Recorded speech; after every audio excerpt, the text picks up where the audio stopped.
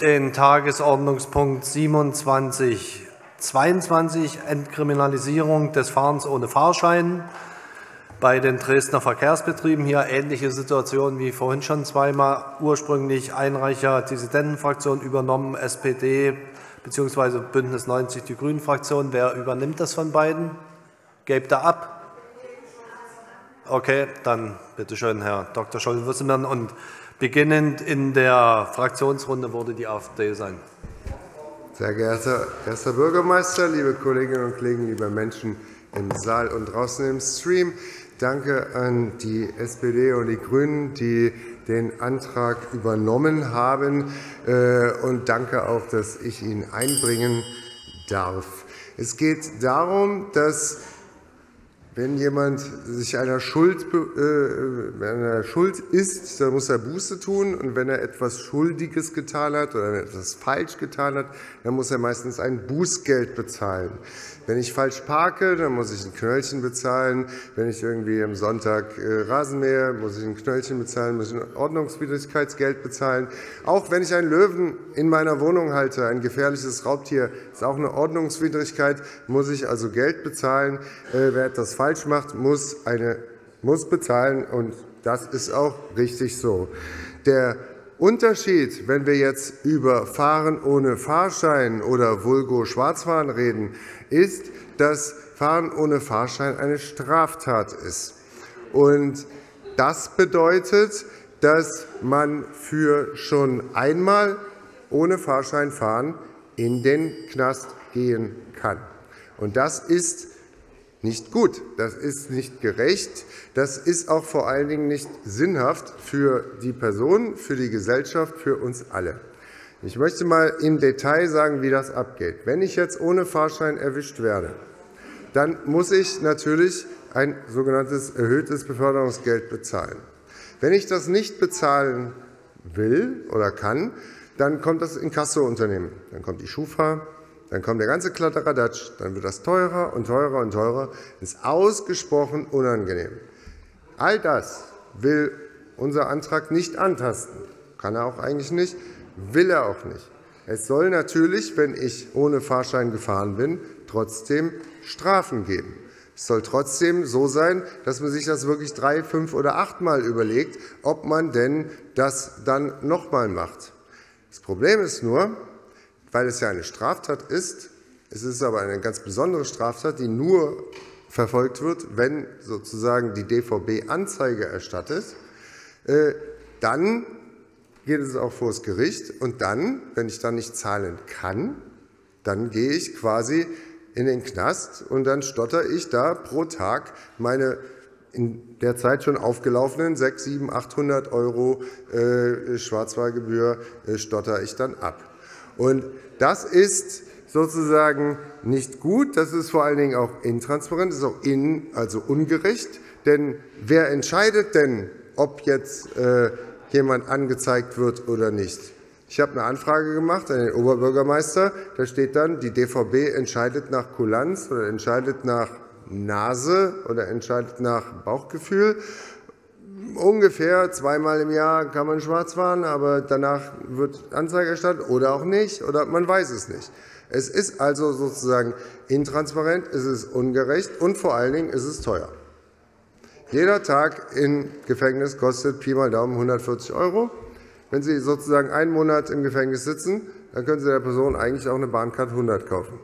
So, es ist quasi volkswirtschaftlich Blödsinn, jemanden für Fahren ohne, äh, ohne Fahrschein in, äh, ins Gefängnis zu setzen. Es ist ungerecht, es ist nicht sozial, es hilft nicht den Menschen, denen das passiert. Und von daher geht der Antrag dahin, dass schlicht und ergreifend die DVB aufhören soll, Anzeige zu erstatten. Sie soll natürlich weiterhin das erhöhte Beförderungsgeld eintreiben. Sie soll natürlich weiterhin die Bestrafung, falls man nicht bezahlen will, mit Inkasso und Schufa und all sowas, soll natürlich weitergehen. Aber die Menschen sollen zumindest nicht ins Gefängnis gehen dafür, dass sie schwarz gefahren sind, dass sie keinen äh, Fahrschein hatten und nicht bezahlen können. Dankeschön. Vielen Dank. Jetzt machen wir weiter. AfD-Fraktion Harald Gilke, bitte.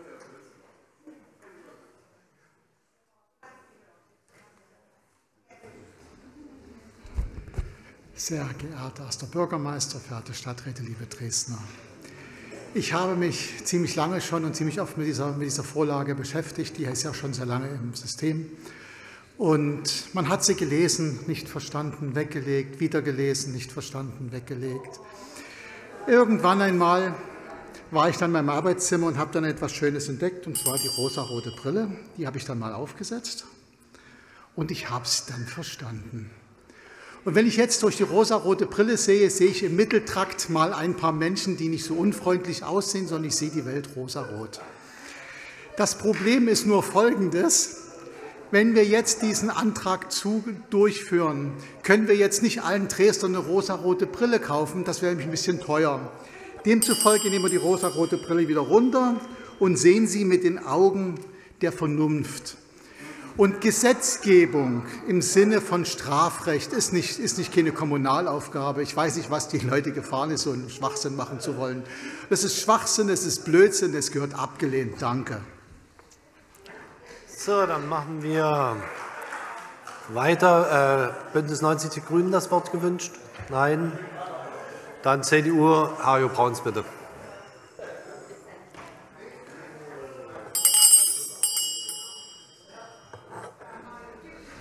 Herr erster Bürgermeister, meine Damen und Herren, Herr Schulte-Wissemann, wenn Sie von Strafverfolgung äh, keine Ahnung haben, dann sollten Sie auch darüber nicht reden. Es ist, was Sie erzählt haben, ist ein so hanebüchner Unsinn. Äh, bevor jemand wegen Fahren äh, ohne Fahrschein in Haft geht, ich weiß nicht, ob das im Freistaat Sachsen, Freistaat Sachsen überhaupt schon mal irgendwie vielleicht zwei, drei Leute passiert hat. Das, was passiert ist, haben Sie schon mal was von Geldstrafe gehört? Das ist die Regelstrafe. So, und äh, wir halten diesen Antrag, das will ich einfach nur mal sagen.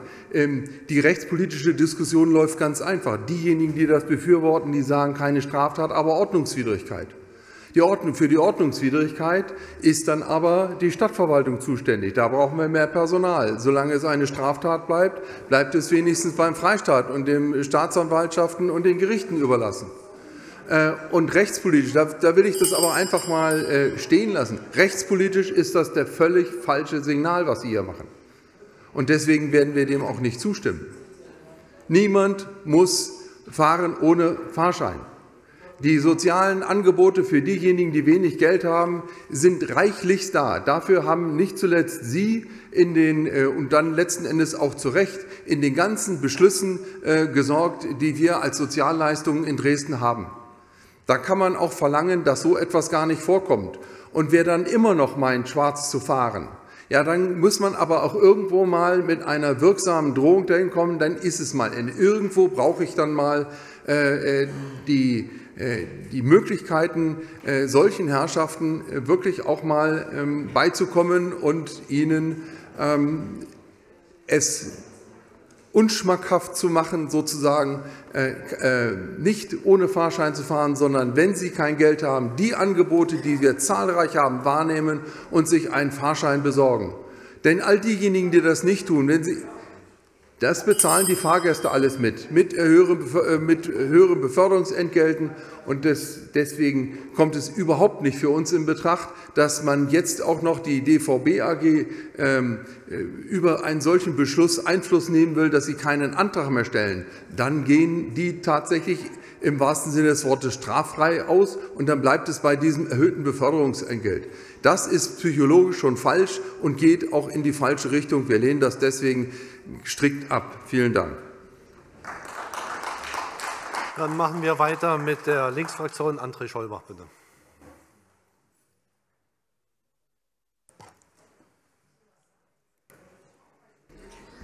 Sehr geehrter Herr erster Bürgermeister, meine Damen und Herren, was ist denn das politische Problem? Wenn ich mit meinem Auto parke, ohne einen Parkschein zu lösen, dann kriege ich ein Knöllchen, dann bezahle ich 20 Euro, ist eine Ordnungswidrigkeit, aus die Maus. So, wenn Opa Klaus aus Gorbitz, der einen schmalen Geldbeutel hat und aus Not schwarz fährt mit Bus und Bahn, dann begeht er eine Straftat. Und die DVB, wenn sie dann entsprechend den Antrag auf Strafverfolgung ähm, stellt, gilt zunächst erstmal das Legalitätsprinzip und das muss dann verfolgt werden. Und das ist doch eine Ungerechtigkeit, dass sozusagen einerseits ich mit meinem Auto irgendwo quasi schwarz parken kann, das ist nur eine Ordnungswidrigkeit und auf der anderen Seite der, der schwarz fährt, eine Straftat begeht. Nun können wir hier im Dresdner Stadtrat keinen Einfluss auf das Strafgesetzbuch nehmen. Ne? Paragraph 265a, das Erschleichen von Leistungen, ist eine bundesgesetzliche Norm. Daran können wir nichts ändern. Aber diese Norm ist ein Antragsdelikt. Und sehr wohl haben wir Einfluss darauf, ob unsere Tochter, die Dresdner Verkehrsbetriebe AG, von diesem Recht, einen Antrag auf Strafverfolgung zu stellen, Gebrauch macht oder nicht. Und darum geht es hier. Das ist das eine Thema. Das zweite Thema, wo wir auch noch mal Klarheit schaffen müssen. Natürlich ist es nicht so, dass in einem solchen Fall sofort angeklagt wird. Also äh, im Allgemeinen wird zunächst nach 153 oder nach 153a StPO ein solches Verfahren eingestellt gegen Geldauflage. Das Problem kommt aber später. Wenn dann doch angeklagt und verurteilt wird, wird der Angeklagte in aller Regel, wenn er nicht noch mehr auf dem Kerbholz hat, natürlich nicht gleich zu einer Freiheitsstrafe verurteilt. Aber es gibt genügend Menschen, die dann zu Geldstrafen verurteilt werden und auch wiederholt zu Geldstrafen verurteilt werden. Und dort trifft es dann ganz besonders die Armen. Denn wer nicht in der Lage ist, diese Geldstrafe zu begleichen, dann kommt die Ersatzfreiheitsstrafe zum Zuge. Und natürlich gibt es das auch im Freistaat Sachsen, dass Menschen, die zu Geldstrafen verurteilt worden sind, dann die Ersatzfreiheitsstrafe antreten müssen. Und das trifft natürlich in, der, in, aller Regel nicht Leute, die die Geldstrafen in der Lage sind zu bezahlen, sondern das betrifft die Armen. Und da muss man sich eben fragen, ist das der richtige Weg? Ist das der richtige Weg, teure Haftplätze. Ein Haftplatz kostet den Staat richtig Geld. Äh, sozusagen äh, auf diese Weise äh, Kosten zu verursachen. Ist es der richtige Weg? Weil diese Menschen werden natürlich dort ganz bestimmt nicht resozialisiert. Das ist doch alles Unfug. Und insofern muss man das in die richtigen Bahnen lenken. Und insofern ist der Gedanke, der diesem Antrag zugrunde liegt, nicht nur nachvollziehbar, sondern richtig. Und deshalb werden wir ihn unterstützen. Vielen Dank. Vielen Dank. Dann würde jetzt als nächstes die SPD-Fraktion Vincent Drews dran sein. Keine juristischen Seminare hier.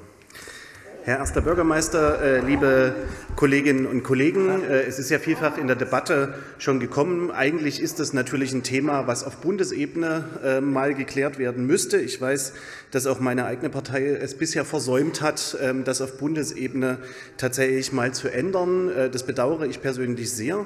Ähm, ich finde es aber sehr richtig, ähm, zumindest eben diesen Weg zu gehen, den wir jetzt hier mit dem vorgelegten Antrag gehen können und äh, als Dresden bzw. als Dresdner Verkehrsbetriebe auf die Anzeige zu äh, verzichten, wenn Menschen beim Schwarzfahren erwischt werden. Ich will noch mal kurz auf das eingehen, was Herr Dr. Brauns gesagt hat, weil da so Sätze gekommen sind wie, das bezahlen die anderen Fahrgäste mit, die gehen straffrei aus. Ich habe jetzt nicht mitgezählt, wie oft Martin Schulte-Wissermann gesagt hat, dass die, das erhöhte Beförderungsentgelt, die 60 Euro, natürlich trotzdem bezahlen müssen. Ich würde schätzen, es waren drei, vier oder fünf Mal, dass er das gesagt hat. Und Sie ignorieren das völlig und äh, machen, bringen hier in eine Debatte Argumente an, die völlig an den Haaren herbeigezogen sind, die überhaupt nichts mit diesem Antrag zu tun haben.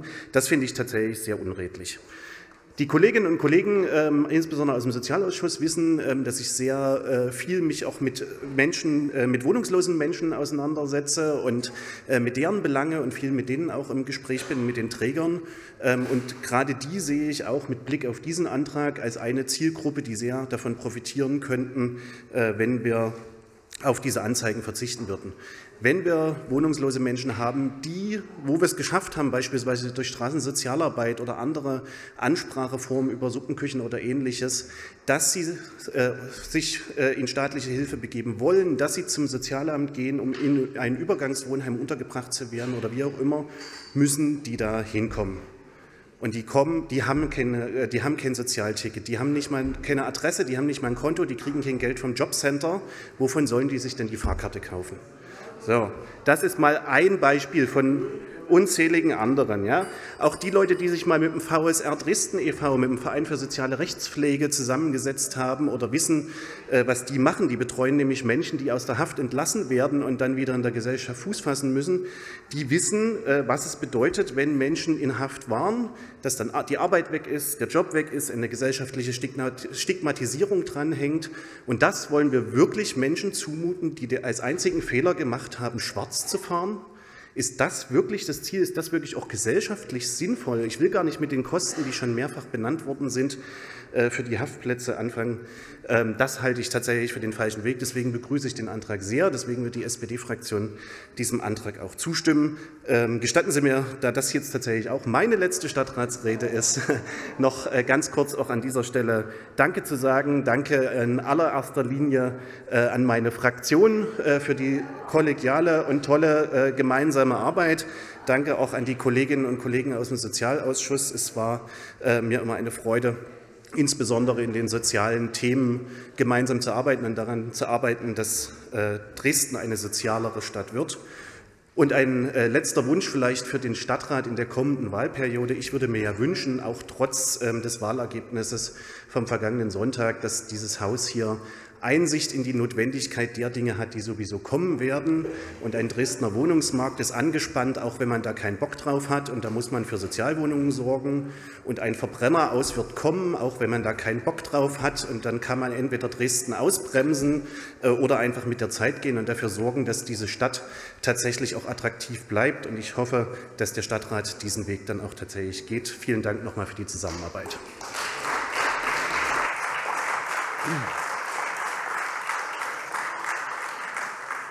Okay, dann Freie Wähler, Freie Bürger, nein. FDP, nein. Dann machen wir jetzt die zweite Runde und es würde Herr Lommel dran sein, danach Michael Schmenig.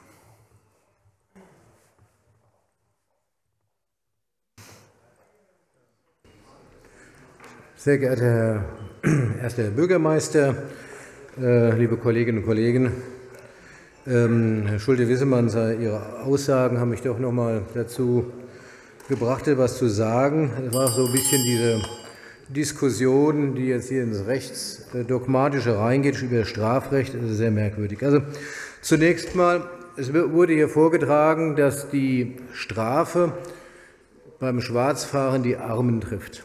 Das stimmt.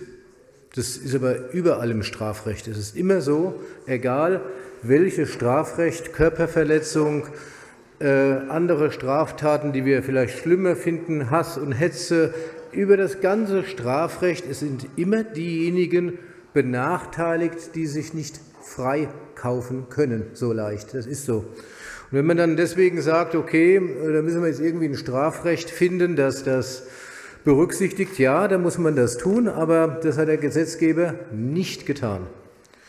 Und jetzt muss man eine politische Gewichtung machen, und das ist ganz legitim. Die, der linke Flügel sagt, okay, äh, wir finden das alles äh, nicht so dramatisch, das reicht mit einer Ordnungswidrigkeit.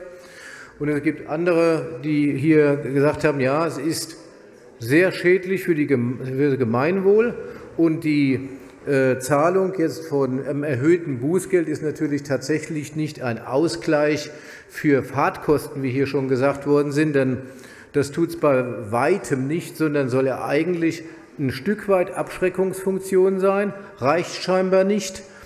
Äh, es soll einfach dafür sorgen, dass eben der Deckungsbeitrag von den Nutzern auch bezahlt wird. Und das ist völlig legitim. Und an letztes, äh, äh, Dr. Braun hat es auch schon angesprochen, ich kann ja mich nur anschließen, der Staat äh, und sprich letztendlich nicht der Staat, sondern unsere Bürger geben allen Leuten, was öffentliche Verkehrsmittel, gerade im äh, städtischen Nahverkehr, so viel die Hand mit Hilfen und allem, darf man da auch nicht mal erwarten, dass die Hand entgegengenommen wird und das bisschen, was man verlangt, dass das auch getan wird? Darf man das nicht verlangen? Und dann, wenn, man, wenn das nicht geschah, tut, regelmäßig, dann muss man auch mit den Konsequenzen leben. Und dann noch eins, Herr Schulte-Wissemann, es ist eben nicht so, dass nach Nase oder sowas ein äh, Strafantrag gestellt wird von der DVB. Nein, das machen die nicht, sondern es gibt ja neben dem objektiven Tatbestand eben dieser Tat einen zweiten Tatbestand, der ist nämlich subjektiver Tatbestand, das heißt auch Vorsatz. Und die DVB wird sicherlich diesen Vorsatz erst dann bejahen, wenn es eben jemand ist, der das regelmäßig, dauerhaft oder wenn man das Gefühl hat, eben, dass dieser die wenigen Kontrollen, die da sind, ausnutzen, um eben günstig von A nach B zu kommen, nämlich zu günstig, umsonst, um dann zu sagen, es reicht. Und es hat nichts mit irgendeiner Beliebigkeit zu tun, dass die Mitarbeiter nach Gutsherrenart das machen. Das glaube ich nicht, sondern nach juristischem Verstand, soweit dies möglich ist. Kurz zusammengefasst, wenn man jetzt das alles so bewertet, das heißt ähm, sozial adäquate schädliche Handlung auf der einen Seite, die ganzen Möglichkeiten, das nicht machen zu müssen, auf der anderen Seite und dann auf der Seite, dass es eben dann trotzdem gemacht wird. Und wenn man dann der Auffassung ist, dass man dann eben zu dieser härteren Maßnahme greift, es ist bestimmt nichts Verwerfliches, dass man dann sagt, ja, wir möchten dennoch eben eine größere Abschreckungswirkung durch das Strafgesetzbuch haben. Und dieser Meinung schließen wir uns an. Vielen Dank. Okay, dann machen wir weiter mit Michael Schmählich, bitte.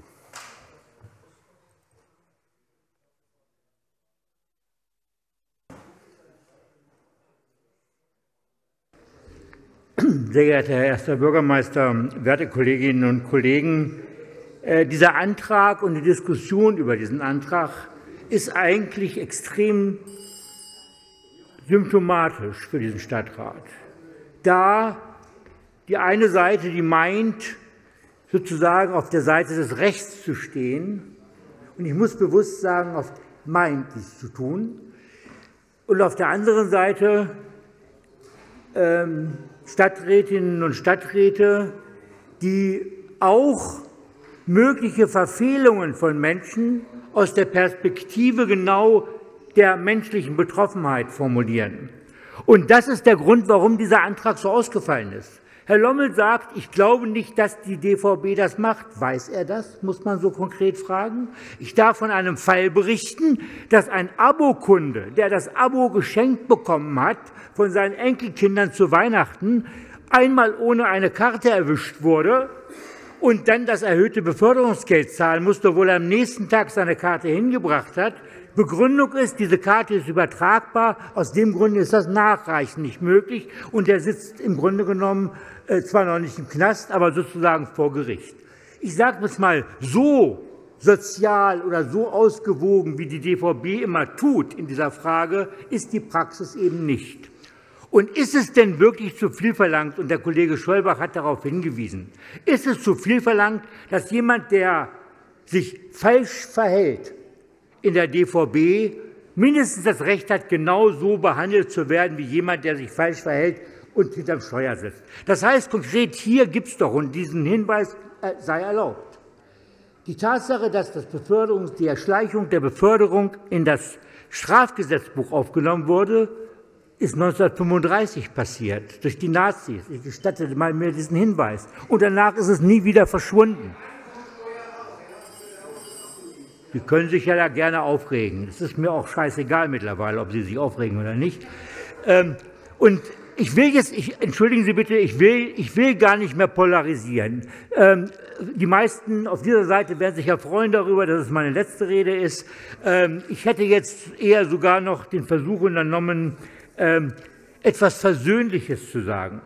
Lassen Sie uns doch mal als Stadtrat, damit ist ja das noch nicht aus der Welt, eine Aufforderung an, der, an die DVB hier in unserer letzten Sitzung dieser Legislaturperiode gemeinsam fassen, indem wir sagen, Leute, seht zu, dass wir in dem Bereich hier eine Entkriminalisierung hinbekommen. Das ist meine Bitte oder meine Aufforderung, aber ich äh, weiß, dass ich die natürlich wahrscheinlich nicht durchkomme. Ich werde jetzt nach zehn Jahren Und ich sage mal, das waren gute zehn Jahre, und zwar auch gute zehn Jahre für diese Stadt, weil es, weil es andere Mehrheiten gegeben hat. Mal eine rot-grün-rote Mehrheit in der vorletzten Legislaturperiode und so ein bisschen diffuser auch jetzt, zumindest wechselnd, weil ich glaube, dass Abstimmungen wie die, die wir gerade hatten und wo auch es, noch eine knappe Mehrheit gegeben hat in der nächsten Legislaturperiode, das befürchte ich jedenfalls in der Amtszeit des neuen Stadtrates schwer möglich werden würde. Und deshalb beneide ich diejenigen, die hier kämpfen werden, nicht unbedingt. Also ich sage jetzt nicht, ihr tut mir leid, aber es wird nicht leichter werden. Und äh, wenn ich einen Dank loswerden darf, dann ist es ein Dank an Mitarbeiterinnen und Mitarbeiter der Stadtverwaltung, die mir sehr geholfen haben, diese Arbeit zu ermöglichen. Das sind die Ausschussreferentinnen, die immer nie so erwähnt werden. Ähm, Sie wissen ja auch, ähm, dass ich ein bisschen sehbehindert bin und da war ich auch sehr darauf angewiesen, dass ich immer sehr gute Zuarbeiten kriegte und das ist gelungen und es war dadurch auch für mich möglich, sage ich mal, barrierefrei in diesem Stadtrat zu arbeiten. Das fand ich für mich auch sehr wichtig. Diese zehn Jahre, wie gesagt, es waren die, äh, die guten Jahre. Ich hoffe, sie werden nicht ganz so schlimm, die nächsten. Ähm, und deshalb ähm, hoffe ich sehr, dass dieser Stadtrat, ich habe wenig Hoffnung, dass es so ist, trotzdem sich besinnt, die CDU sich auch mal besinnt auf ihre christlichen Wurzeln. Sie haben ja im Wahlkampf das Christliche ganz weggestrichen. Sie waren nur noch konservativ äh, und, und äh, liberal und äh, ein bisschen sozial auch noch. Äh, ich glaube, es wäre vielleicht auch ganz gut, wenn man, wenn hier auch außerhalb dieser Grenzen vielleicht im, äh, im nächsten Jahr oder in den nächsten fünf Jahren eine halbwegs vernünftige Politik gemacht würde. Und ich äh, möchte denn dennoch äh, auch, also vorhin ist er schon mal von dem Kollegen Nietzsche, der zitiert, also wenn ich die bösen Onkel zitiert hätte, dann hätte ich gesagt, danke für nichts. Aber ich sage, ich nehme lieber ein Zitat von Konstantin Wecker und sage, wer nicht genießt, ist ungenießbar. Ich werde es genießen, nicht mehr Teil dieses Stadtrates zu sein. Tschüss, macht's gut.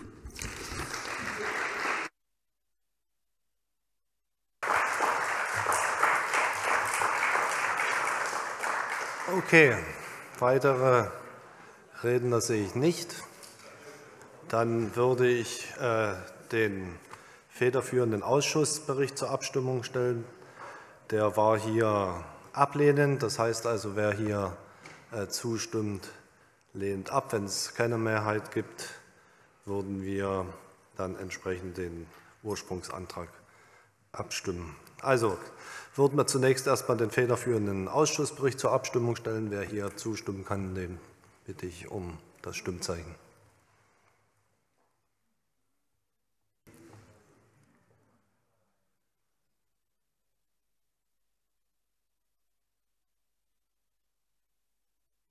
Das wäre mit 21 Ja, 29 Nein nicht bestätigt. Deswegen äh, rufe ich jetzt zur Abstimmung den Ursprungsantrag auf. Wer dem Ursprungsantrag seine Zustimmung geben kann, dem bitte ich um das Stimmzeichen.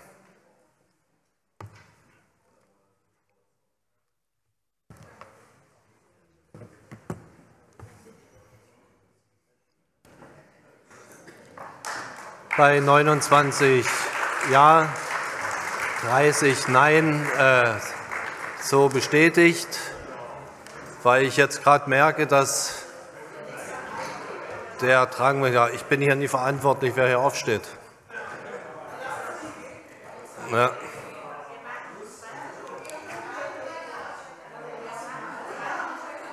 So.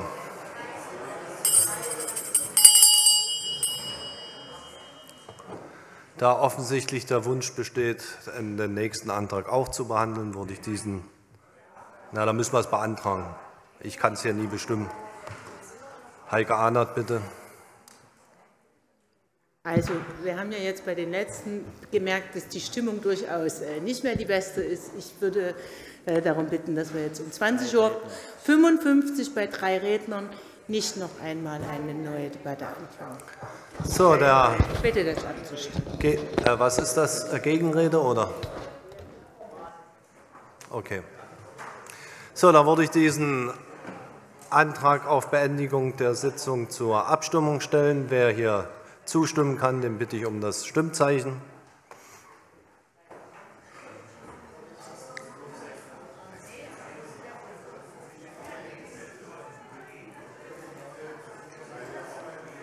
Bei 20 Ja, 28 Nein, so nicht bestätigt. Deswegen rufe ich